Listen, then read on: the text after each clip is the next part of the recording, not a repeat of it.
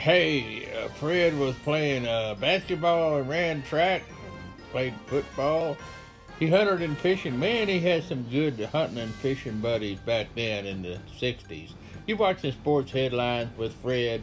Uh, here's Blakely. She's going to give her response. Uh, whatever.